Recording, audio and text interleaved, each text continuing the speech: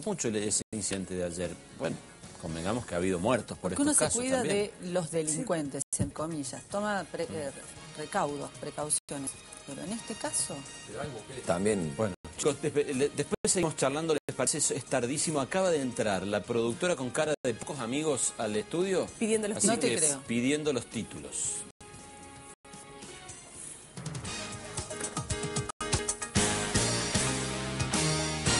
Madrugada tormentosa, una fuerte tormenta afectó a la ciudad y a sus alrededores. En Altagracia cayeron 50 milímetros en 15 minutos y se acumularon 20 centímetros de piedra. Los fuertes vientos arrastraron varios autos. Una familia tuvo que ser evacuada. Avanza la expropiación.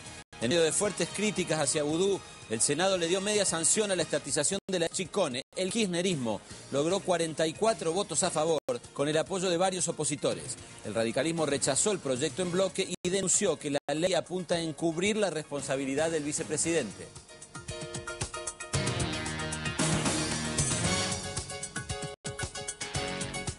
La peor sospecha está muy grave. Un bebé de un año que habría recibido una fuerte golpiza fue operado dos veces y permanece internado en terapia intensiva en el hospital de niños.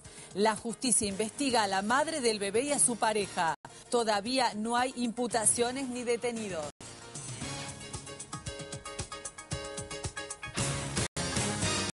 Tasa vial rebajada. El gobierno provincial analiza un descuento en la aplicación de la tasa al gasoil para evitar el impacto en el transporte de pasajeros. En cambio, subirían las naftas premium.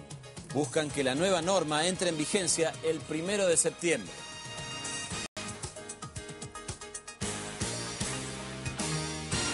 Violencia urbana. Un automovilista le disparó en la pierna a otro conductor en medio de una pelea por un lugar para estacionar. Ocurrió en Rivadavia el 500. Ambos fueron trasladados a la comisaría. El herido se encuentra fuera de peligro.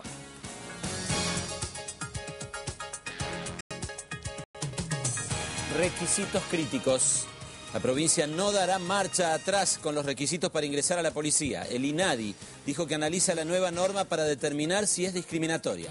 Desde la jefatura explicaron que por ahora no podrán ingresar transexuales ni travestis.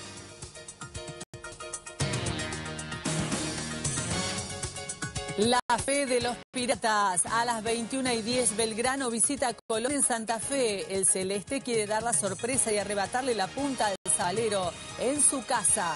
Olave vuelve a la titularidad y el picante Pereira va al banco después de una prolongada lesión.